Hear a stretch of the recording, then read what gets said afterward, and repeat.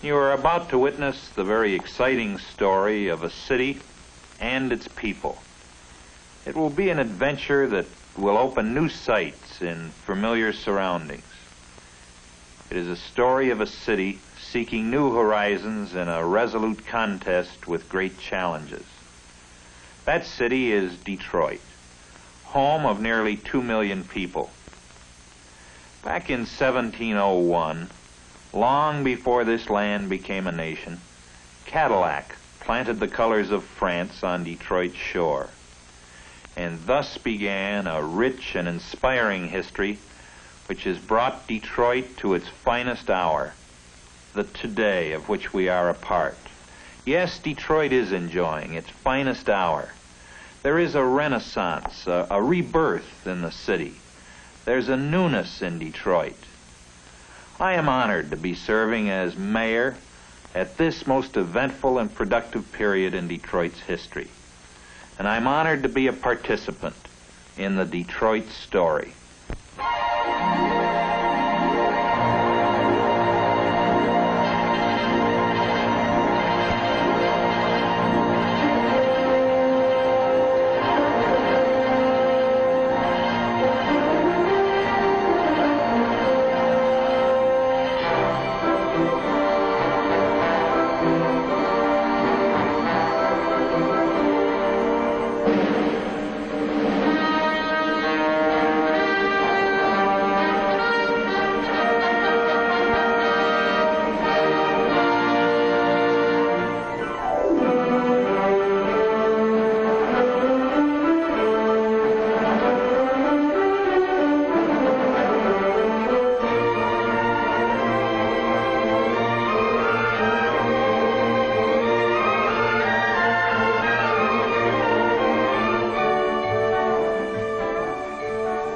Frequently called the most cosmopolitan city of the Midwest, Detroit today stands at the threshold of a bright new future, one rich with the promise of fulfillment.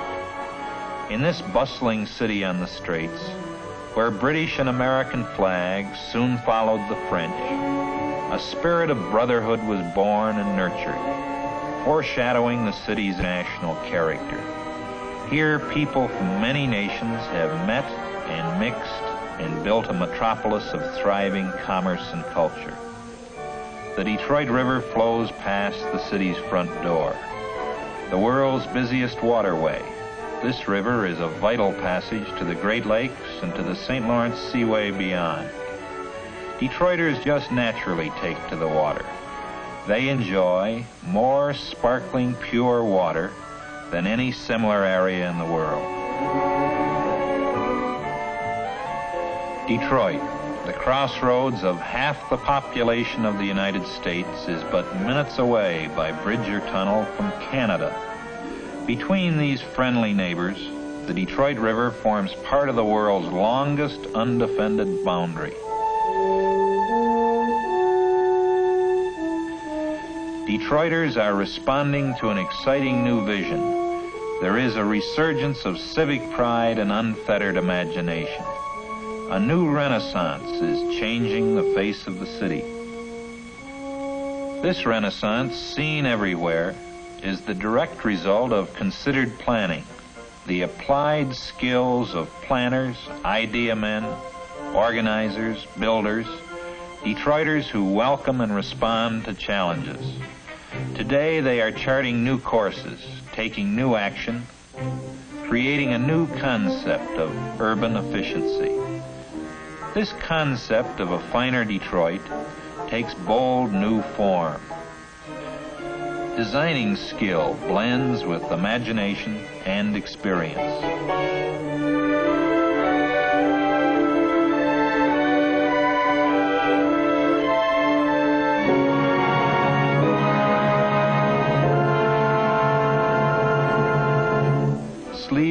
Up, Detroit levels and shifts and carves the contours of a new city.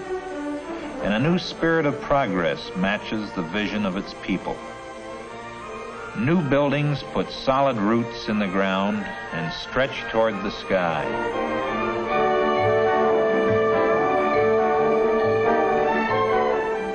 reflected here is planning with a purpose.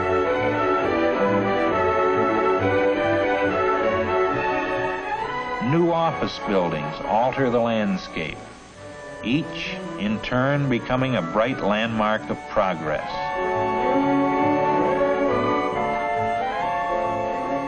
Detroit is rebuilding to a master plan of beauty and public service. Detroit is daring to reach up.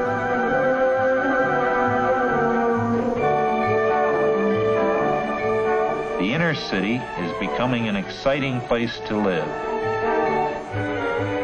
Convenient to shops, offices, and the most modern of schools.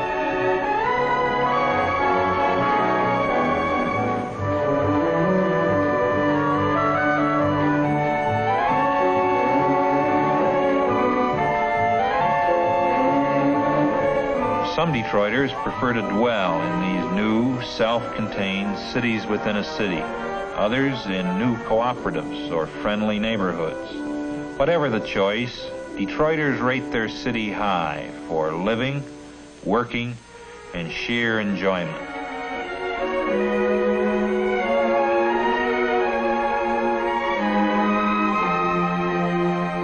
Fine restaurants call you to good food.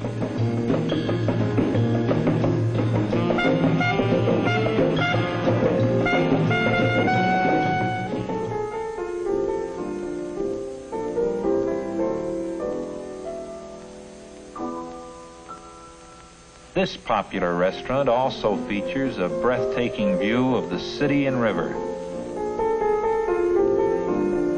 Following dinner, there's the excitement of a night on the town.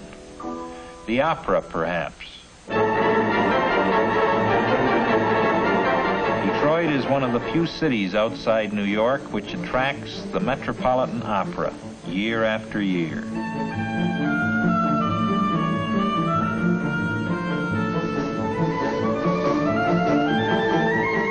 Ford Auditorium, acclaimed for its acoustics, is the home of Detroit's world-famous symphony orchestra. Its summer symphony, community-sponsored, plays under the stars.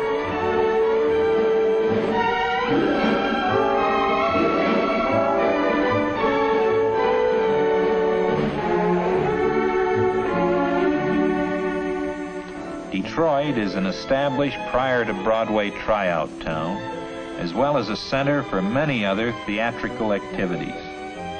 Tryouts and top touring attractions have helped make the city second only to New York in legitimate theater attendance. What more fitting than that Detroit, the world's automobile capital, should hold the world's largest automobile show? Mammoth Cobo Hall, geared to conventions of every kind and size, houses all kinds of national and regional events.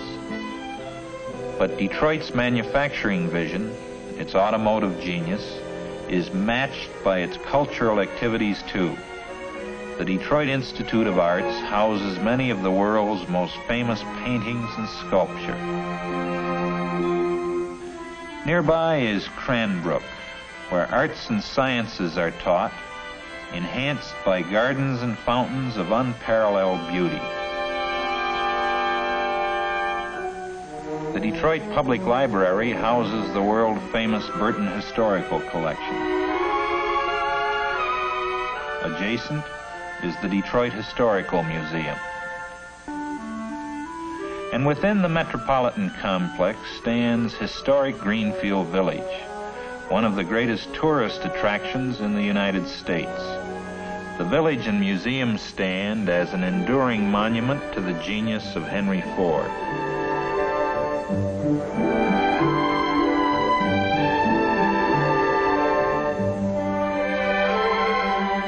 Typical of Detroit's many institutions of higher education, the vigorously growing campus of Wayne State University.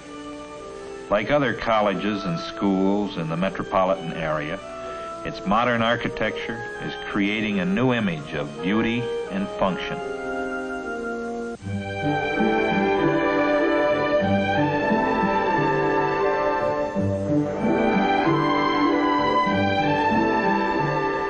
medical research at Wayne State University puts Detroit in the forefront of the never-ending battle to conquer disease.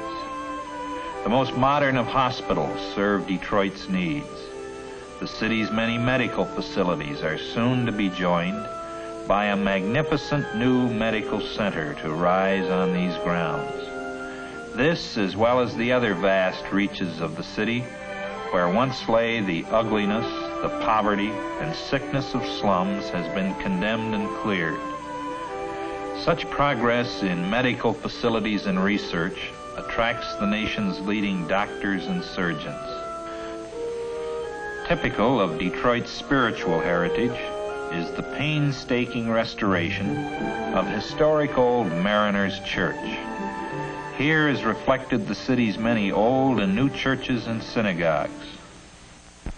Detroit, an exciting place to be, to live, to grow, to work shoulder to shoulder, regardless of national origin, color, or creed. Detroit has earned an outstanding record in community relations, a reputation which is nationally recognized. Here are found 92 ethnic groups, more than in any other major American city.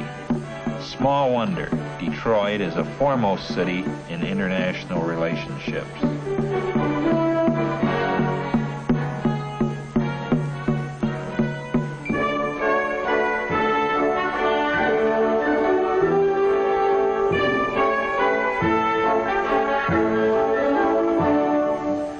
Detroit's progress in good ethnic relations owes a great deal to International Institute, the largest of its kind in the nation.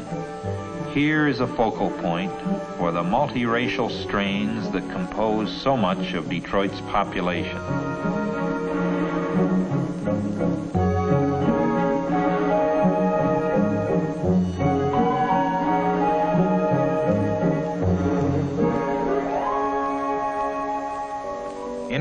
International goodwill is perhaps experienced most frequently at the border between the United States and Canada. Thousands go back and forth daily between Detroit and Windsor, Ontario. Such comradeship is underscored by the International Freedom Festival, staged annually by Detroit and Windsor. Crowds of over 500,000 gather on the USA and Canadian banks of the Detroit River to celebrate with a roar the idea of freedom.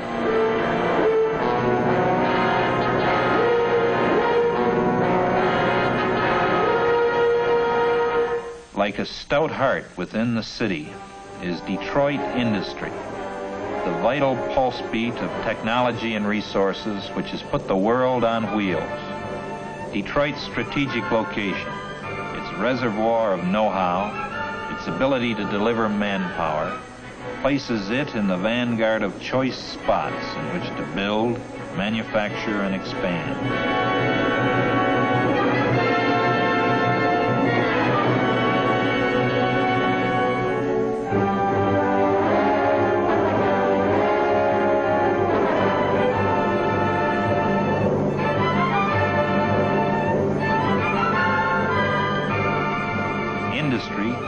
By research in depth, proves Detroit is ever seeking the new way, the better way. Detroit shares, indeed leads, in each forward stride today as it builds for an even more prosperous tomorrow. With all the city's dedication to getting things done, Detroiters also know how to temper work with play Beautiful beaches beckon its people to sun and sand and water. The world's largest freshwater beach is but minutes away from the heart of the city. A day at the zoo. The Detroit Zoological Park ranks with the finest in the world.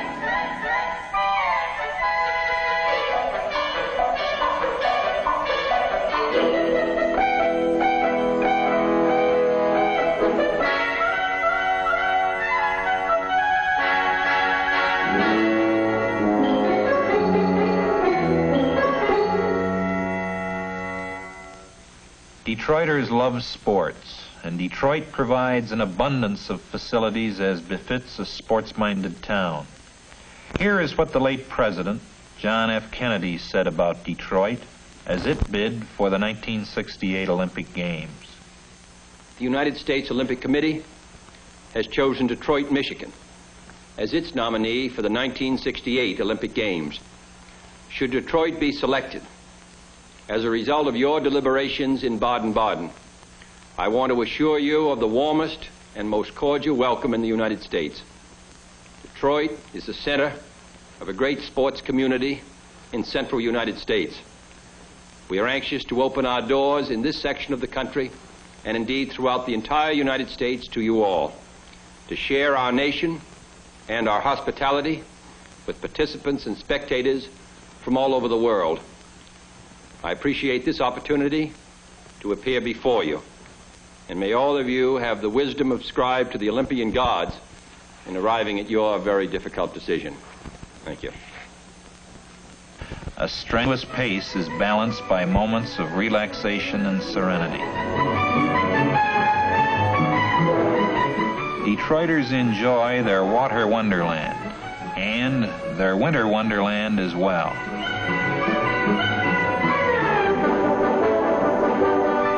Detroit's beautiful Island Park, Belle Isle, and many other wooded parks put playgrounds virtually at every front door. Detroiters not only participate, they are avid and vocal fans as well. Detroit is fiercely proud of its Tigers and just as partisan about its Lions.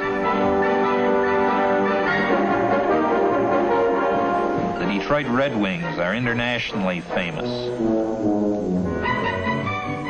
Pistons have made basketball a favorite of many Detroiters. Many facilities, arenas, and tracks make Detroit a great hometown for sports lovers of every bent.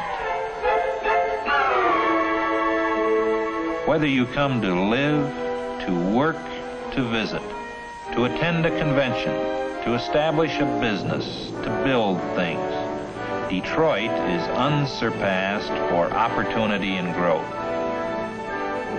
The friendliness of its people reaches out, the warmth of the city, the excitement of change, the dedication to progress, social, spiritual, cultural, and material, is equaled only by its 20th century vision. The city on the straits welcomes you to share that vision as it continues to plan, to build, and yes, to dream.